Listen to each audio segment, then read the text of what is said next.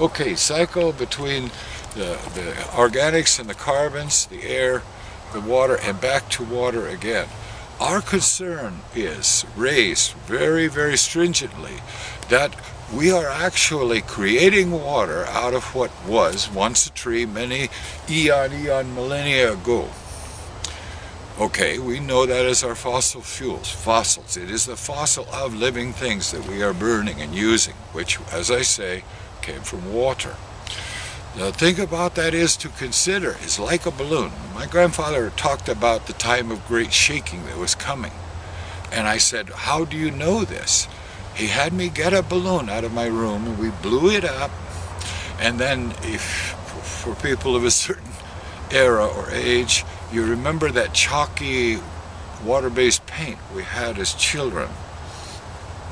We paint the balloon, many coatings of this. Then he had me take a needle and carefully put a small hole through the knot where you tie off the balloon so that it wouldn't break the balloon but we could let the air out slowly. Now what do you think happened to that chalky coating as the balloon shrank? Of course it cracked, it, it took on the appearance of like a little miniature Earth with the subduction lines and the spider webbing of cracks all around it as that chalky surface was forced and stressed and hmm. pushed. Mm. Now we know that the Earth possibly has expanded quite a bit from its central core through these processes of bearing uh, uh, materials, continental drift over the top of that. We know our offshore areas where we get most of our oils from. Gulf of Mexico, uh, up in Alaska, uh, Santa Barbara Channel, etc. So there is something to be said for this theory that my grandfather said of the shrinking Earth, or deflating Earth, cracking the surface and causing great tension, the time of great shaking, which is a Sami uh, prophecy goes way, way back. Uh, we're saying, I think, 18,000 years. They're talking about this this time.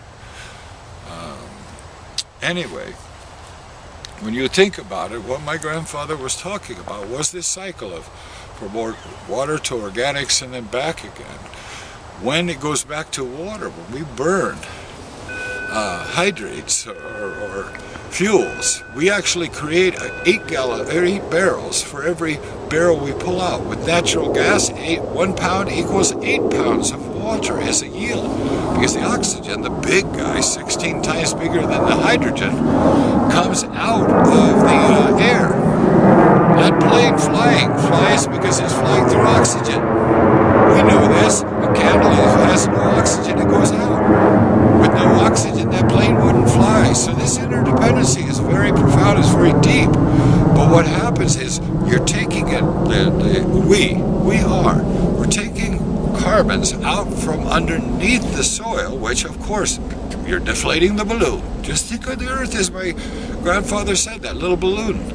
As it cracks, we start seeing these tsunamis and the, the, the, the horrible earthquake there in Japan uh, took out that nuclear power plant, which was totally safe, but it wasn't safe from a tsunami. Uh, so these things are coming to be because we are letting out this pressure from under the earth, but it's compounded because we also are making eight barrels for every barrel we pull out and that is pressing down on it. Whether it be in the atmosphere, it's still pushing down on the earth. So it's a two-fold process. Hmm. And it's something all of our scientists should take into consideration. What are we doing in the greater, uh, not only global warming, which they're finally the people who shot down the concept of global climate change as just being natural, but accelerated by man, eh, there, there is a refining of that argument that's coming to be. No longer can people just say, no, we don't have anything to do with it. Baloney, we don't. I'm telling you, we're taking eh,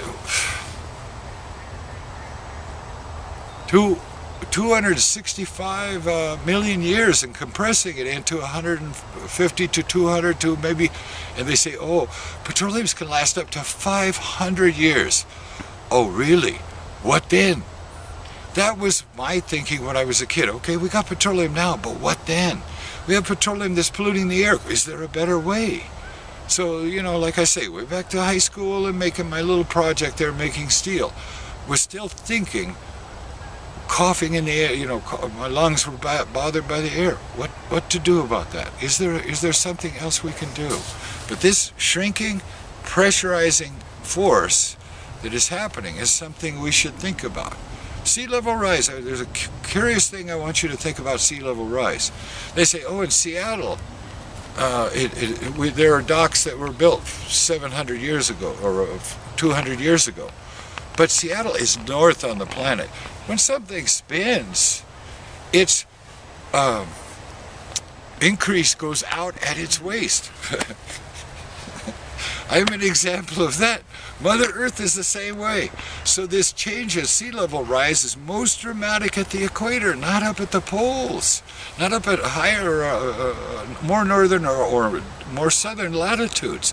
But you go into the central Pacific around the equator, and there are islands that are underwater by three feet wow. that they know. And then the answer to that from the opposition is, oh, well, that's because the Earth is sinking.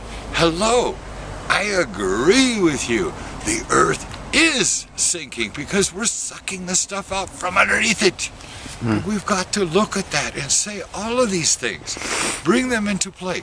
How much is settling happening? You, you people in the coal industry areas of Appalachia, you know about mine subsidence. Whole towns just get sucked into the ground when the miners haven't left the right column structure in place. That's why they're tearing the rooftops off mountains now. It's just easier and they have none of that to suffer with. But who reclaims the land and makes it back like it was made originally? Who can say what, what natural should look like? Oh, they say we make a beautiful park. That's great. That's a man-made park. I think that's wonderful. But mine subsidence is only one example of how extraction of these minerals and materials from under the ground turn around to cause problems later on. An entire town went into the ground. We're doing the same thing with petroleum. Now here's an interesting thing. You put salt water back in there, it breaks more oil loose from the deposit. So I am not anti-petroleum uh, as such specifically. I think we need it as a transition fuel to get us to better things that are coming. But I will tell you the petroleum industry something. When you put the salt water back in there to replace the oil you're taking out, that salt water goes into all those tiny places and brings more oil out. So you will make more profit by trying also to think about the longest, that the great cycle of things, the air, how it all interworks. Sit and contemplate these things. Take the time to just say, what is water?